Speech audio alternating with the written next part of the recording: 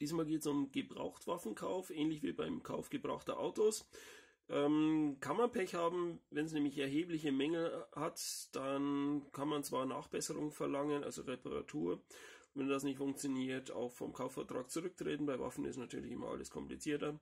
In diesem Beispiel äh, habe ich mir einen Drilling bestellt, online bei der Bestellung auf den Bildern war nichts davon zu sehen oder in der Beschreibung, dass der Schlagbolzen, beide Schlagbolzen so weit festsitzen. Wenn ich diese Waffe laden und schließen würde, dann würde selbst in gesicherten Zustand, äh, würden die Zündhütchen eingedrückt und die Waffe würde feuern.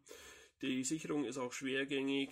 Der Grund für beides ist wohl hier ein Spalt, nämlich der Schaft ähm, hat sich vom Schloss so weit mehrere Millimeter getrennt, dass da Schmutz und Feuchtigkeit reinkommt und darum wird das wieder passieren, selbst wenn ich den Schaft hinbiegen würde.